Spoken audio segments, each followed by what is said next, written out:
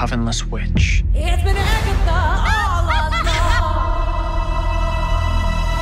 No. It's foul and fair. She took every little bit of power I had. Gather, sister. I'm gonna walk the road. Join me. Darkest hour, wake thy power, Hello everyone, Dan here from the Next Issue Podcast. On today's video, we'll be doing a review for Agatha All Along, Episode 4. If I can't reach you, let my song teach you. Uh before we get fully into spoilers, I want to say this was probably uh stylistically a very cool episode. Like it looked very cool. They had some really interesting things. Uh, of course, big surprises after the ending of the last one. Uh probably not the strongest overall, but I think that I really like the structure of the show, right? We're going to have two episodes that introduced us to the show. We're going to have seemingly five different tests each episode, and then we'll have two episodes to wrap up the story because the coven of them is five. Although with uh, Miss Sharon, uh, Miss yeah Sharon, Miss Miss Hart, uh, now gone, um, the witches will need a replacement. So we're gonna get into all that. Overall, though, fun episode. I was definitely very entertained and glued to the TV to see what was gonna happen next. Uh, so let's get into it. Spoilers coming up ahead.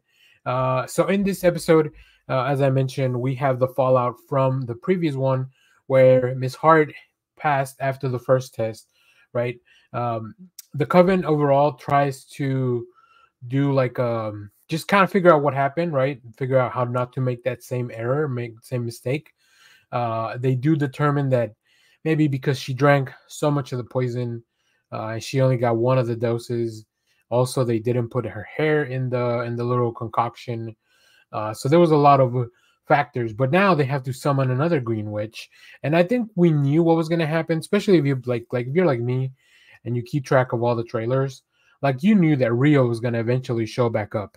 Uh, and one of the things is that we see her, although in the trailers we see her kind of coming out of the ground, but not the way that she came out of the ground in this in this case. Uh, they do summon they summon a green witch.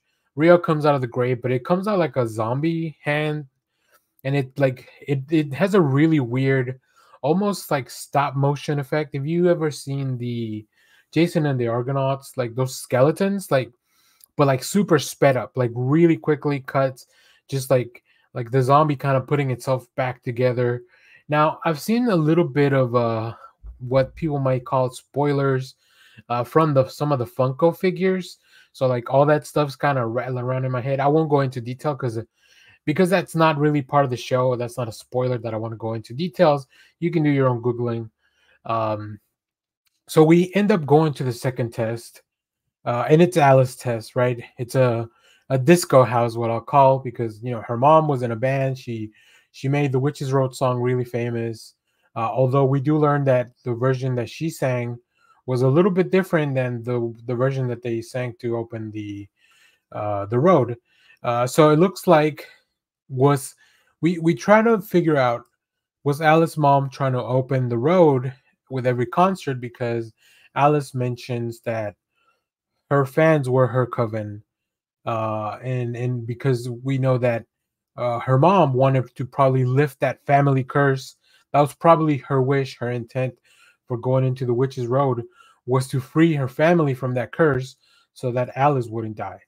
Uh there's a lot of stylistic choices. Like i said everybody kind of goes back into this like 70s disco type of garb uh very great outfits. I think they really they make the episode really fun uh, I really like the locations and everything because these are all real sets and they're not really using that much CGI. Uh, I really like that. We still keep a little bit of that feeling from WandaVision that these are all kind of like obviously it's not a sitcom, but it definitely feels very tactile. It definitely feels like they're filming on a set, which is really fun. Um, so we through through little various means they start looking for the clue to open the thing. It's a vinyl that starts playing backwards uh, and that's actually a curse. So they they they've all now been cursed with the same curse alice has so they have to defeat it. Uh, really funny that uh, you know, there was this whole thing a long time ago that if you play a record, you know, certain specific records backwards, that it was a demonic voice. Um, all throughout the episode, in the meanwhile, Rio has been dropping little hints that she's a lot more sinister than she may be. She might feel. Uh, she Agatha kind of tricks her into like revealing that she wants the bodies of the coven. Uh, so we'll see. We'll see how that plays out. But obviously, this is all part of Agatha's plan to make her look bad in front of the group as well. We know they have a history, and they really play that up in this episode. We'll talk about that more a little bit. Uh, so Alice's mom, we discover that the reason she made that song famous was because she was using that as a protection spell for Alice, and that's the reason that the curse didn't kill her. Uh, because when the, the other witches feel the curse on them, they start to burn, right? And Alice's mom, we know she burned in a hotel. Uh, so like there probably comes an age where you can't really fight the curse anymore and maybe you die. But because of the song that Alice's mom made famous, it's always being played somewhere in the world.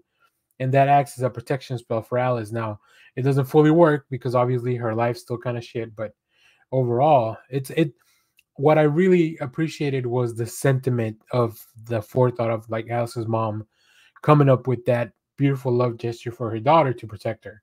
Uh, we see that Teen is thrown through the glass through a glass because there's like a whole recording studio in this house.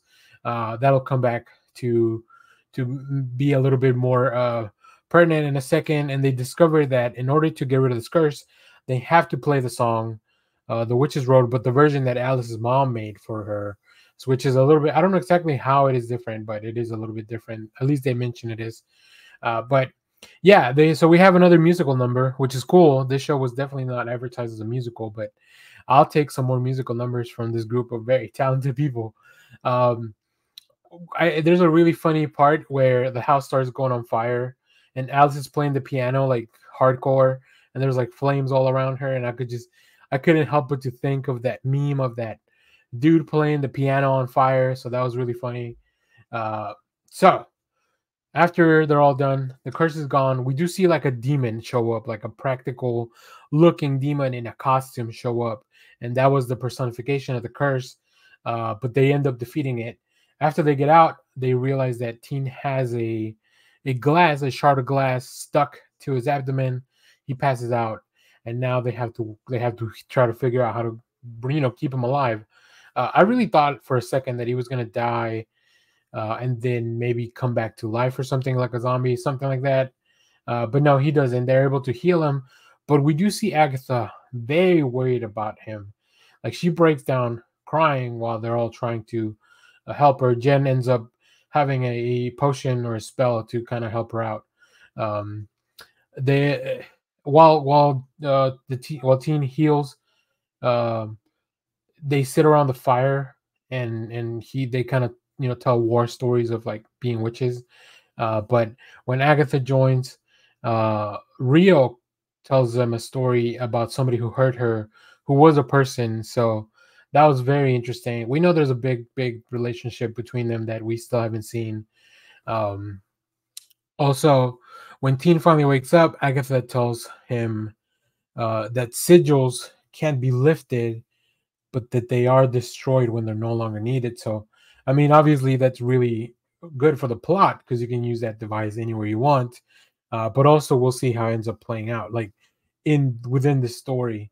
Uh, the last thing is that Agatha and Rio step away together for a second, and because Agatha has been trying to play nice with her for the whole kind of trip, a little bit, kind of, it's kind of back and forth. But uh, Ag- uh, Rio tells her, ends up telling her, that boy is in yours I don't know what that means. I think there's obviously there's a theory that uh, the teen is maybe a reincarnation of Agatha's kid uh, or something like that. It's gonna be. I'm sure it's gonna obviously be one of the big reveals. So uh, a little bit more more clues, a little bit more fuel in that fire. So uh, no Mephisto this time. So Mephisto watch continues, but uh, very excited to see where this goes from here. I really like the show. I like that the episodes are like nice and like 30, 35 minutes uh, you know. Uh, so yeah, I'm excited. I'm excited to see where we go from here. Like I said, not overall, not the strongest episode of this the series so far, But I mean, they had some really good ones at the beginning, so I can I can hopefully expect that we'll see whose trial should be next. Uh, let me know in the comments if you if you think you know whose trial should be coming up. Uh, I think when I saw the preview that it was like a disco thing, I figured it was Alice. Um, I'm thinking Lillian probably will go next because she keeps having those outbursts of like like saying words or like kind of maybe zoning out a little bit, which they bring up in the in the show as well. So we'll see how that plays out. Overall, though, really, really fun episode. So if you've seen this, let me know what you thought about it down in the comments. As always, thank you for watching, everyone.